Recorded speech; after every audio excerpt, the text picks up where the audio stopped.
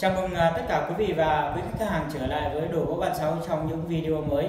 Và trong video ngày hôm nay thì tôi à, rất là vui và được chia sẻ đến cho quý vị về một cái mẫu đó chính là tượng đàn ma được làm trên chất liệu đó chính là gỗ hương. Đầu tiên như quý vị có thể thấy ở trên đây đó chính là một uh, ngài cụ đàn ma được uh, đục chạm với các cái uh, hình thái đó chính là đứng ở trên một con sóng.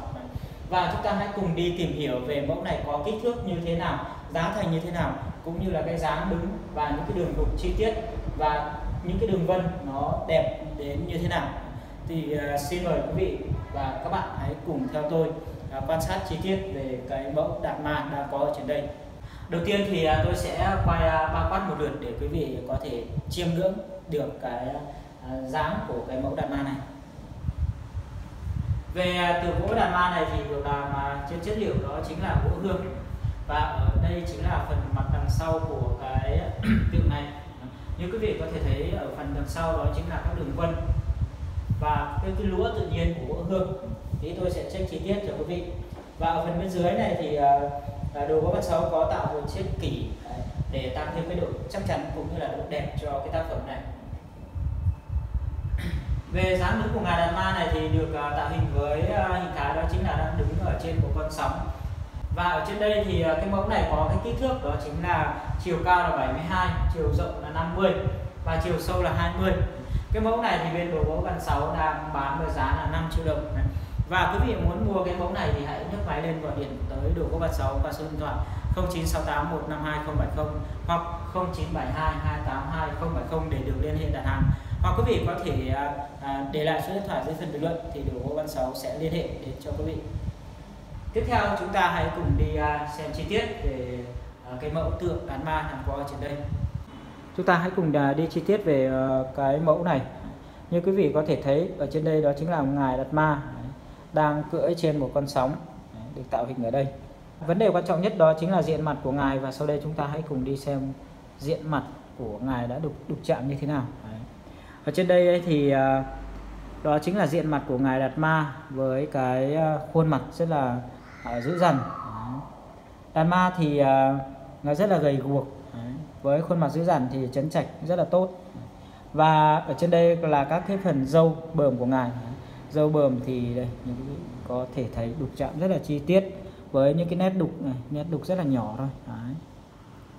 về phần mũi này mắt. Đấy.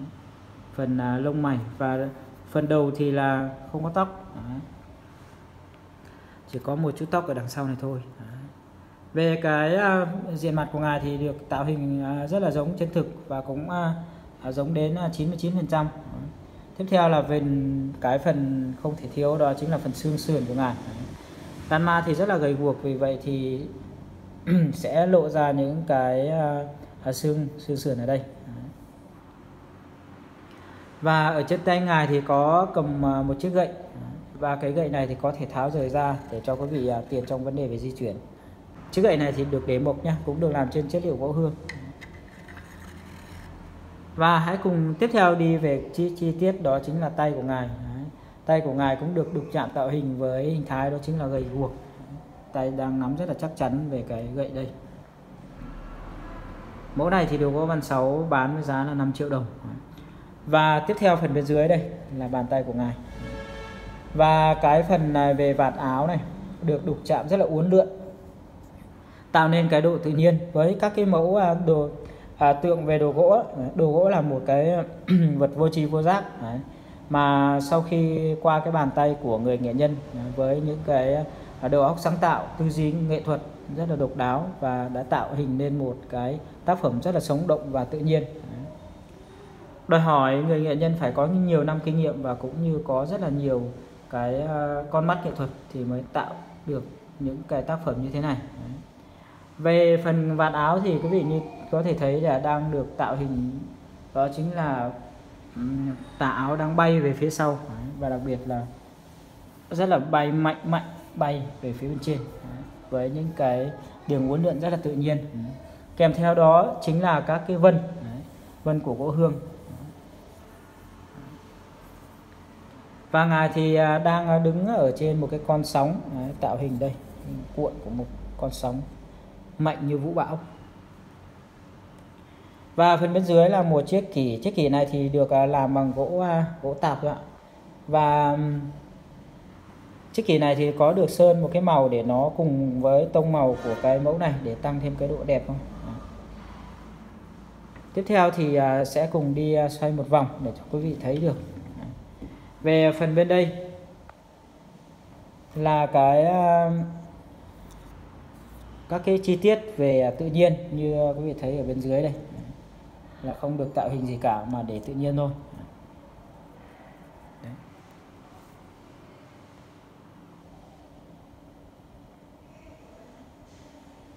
tiếp theo hãy cùng à, đi về cái phần đằng sau. Phần đằng sau tôi sẽ quay xa ra một chút để quý vị có thể thấy bao quát được.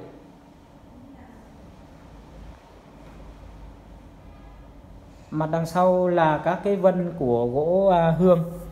Kèm theo ở phần bên này đó chính là lũa nha lũa tự nhiên.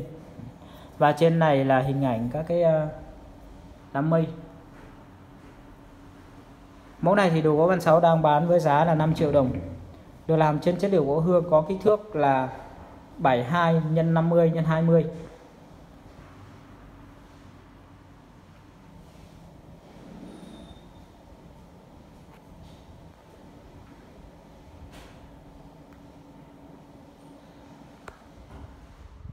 Vâng, và trong một video ngắn thì uh, tất cả quý khách hàng và uh, mọi người đã cùng uh, đi tôi cùng theo tôi chiêm ngưỡng một cái tác phẩm uh, ngài cụ Đạt Ma được uh, chế tác trên chất liệu gỗ hương.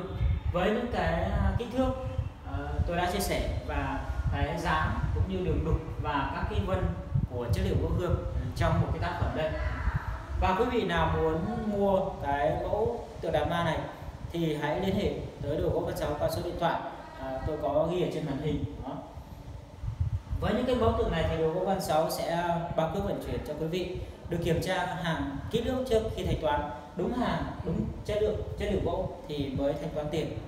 Và cảm ơn quý vị à, đã theo dõi một video ngắn mà tôi đã chia sẻ về mẫu tượng đàn ma cũng như báo giá báo kích thước đi chi tiết về mẫu này. À, quý vị xem video như nếu như thấy à, hay và ý nghĩa và thích cái mẫu này thì hãy chia sẻ. À, lên các hội nhóm trên Zalo, trên Facebook để mọi người cùng biết đến các cái mẫu tượng gỗ. Và mọi người cùng chiêm ngưỡng các cái mẫu tượng gỗ à, của trung tâm tượng gỗ Văn Sáu. Và một lần nữa xin à, kính chúc tất cả quý vị luôn luôn thành công trong cuộc sống. À, xin kính chào quý vị và hẹn gặp lại quý vị trong các video tiếp theo. Xin kính chào.